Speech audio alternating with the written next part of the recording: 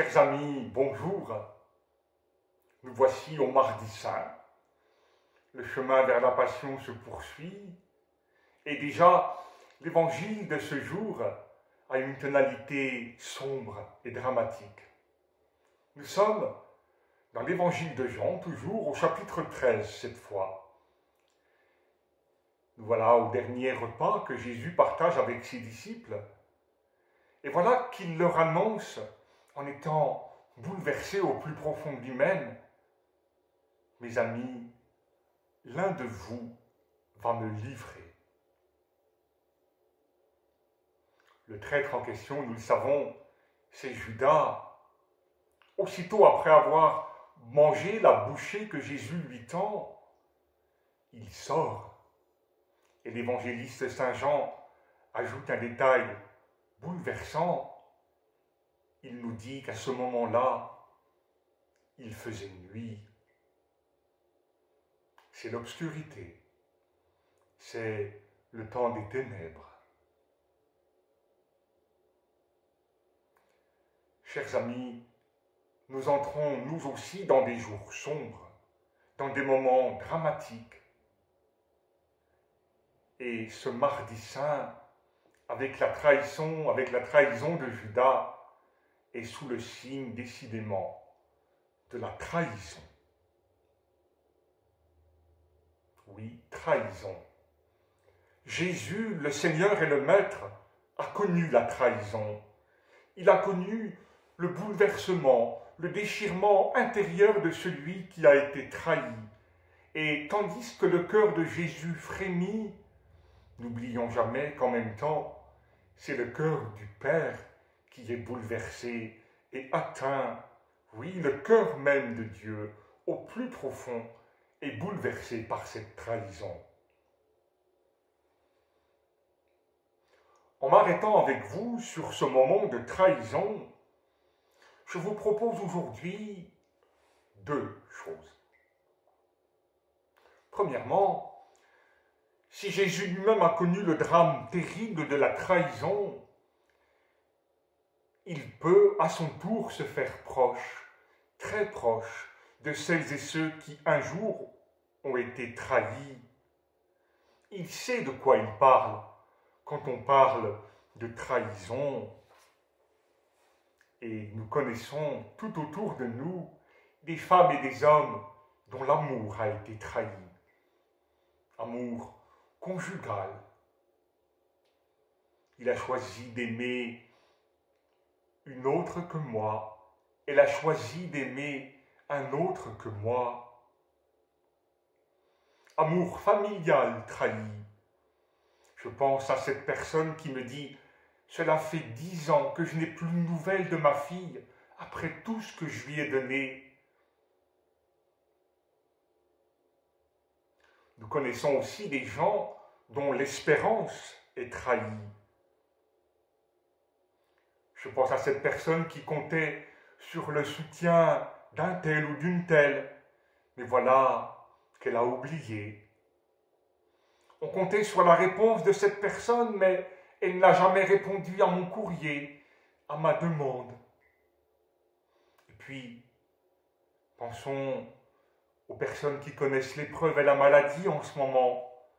Peut-être comptaient-elles ces personnes sur l'aide du Seigneur?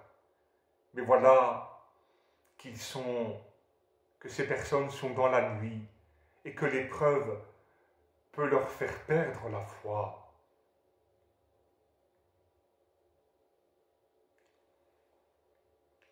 Deuxièmement, la trahison de Judas nous renvoie à nos propres trahisons,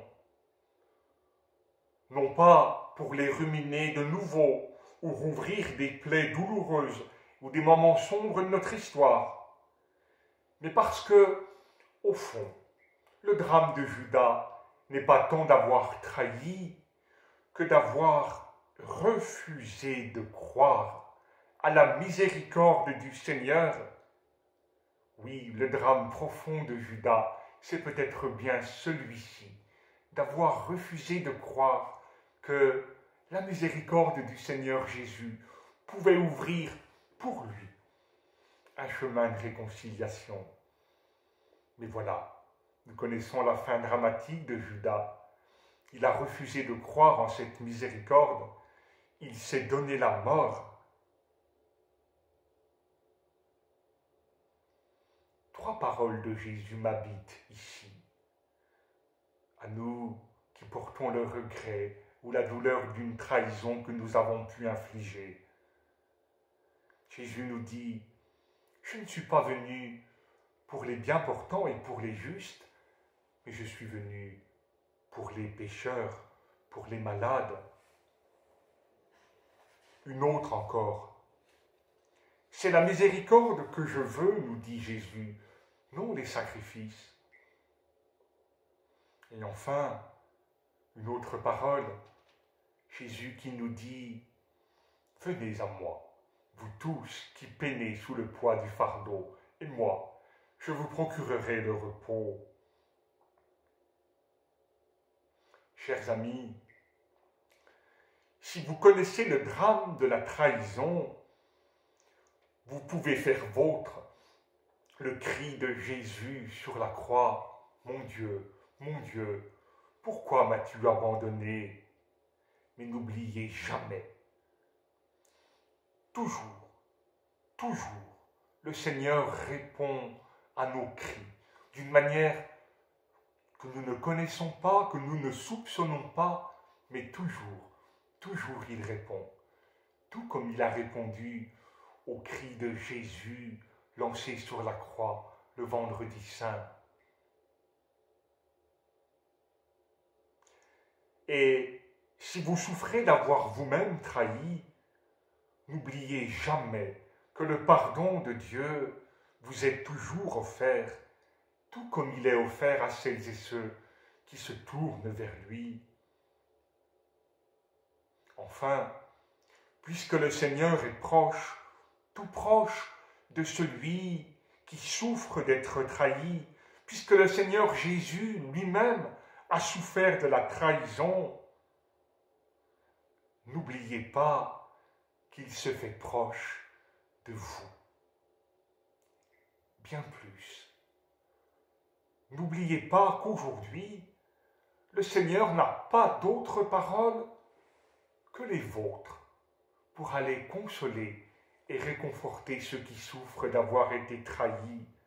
Le Seigneur n'a pas d'autre main que les nôtres pour apporter soutien et réconfort à ceux qui souffrent d'un amour trahi. Je vous souhaite bon mardi.